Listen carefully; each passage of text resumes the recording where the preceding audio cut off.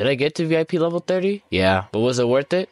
Fuck no. Is it really worth like a hundred or two hundred dollars like just to fly? Or is it really just worth it to just have like a star next to my name? Like that's cute. Or is it really worth it to have like stuff coming off my back, which I don't think you do VIP level 30 for? Absolutely not. Yeah, I do like flying over the map, I can't lie. In my opinion, I feel like you should just buy kind of the rank that you want. Or maybe something like Egg Wars, you know, or Sky Wars, or Lucky Blocks. But I don't think you should have to buy all of these and, you know, a bunch of other packs just to have a star next to your name at all. I think it's like a complete scam. It's really just who can spend the most money challenge. But hey, man, I got every pack here, so I fell for the chat, man. I wanted to try to go get it, man. I also think that there should be a way to, you know, go get the old bundles. And like, I've seen YouTube videos, but they're just like, bro, you guys spend like a hundred dollars just to get it. It's kind of dumb. And I also feel like it's way too expensive just to be able to vote. It feels like, I don't know, like we're trying to make a paid for government. I feel like everybody should be able to vote. And honestly, I don't think anybody really cares that I have VIP level 30 at all. Like, I don't even think they can see it right now.